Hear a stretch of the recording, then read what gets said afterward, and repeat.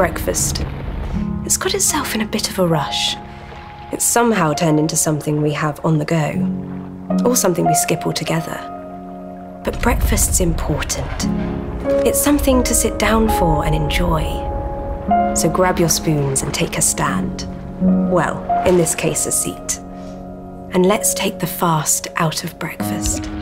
Let's enjoy breakfast on the slow.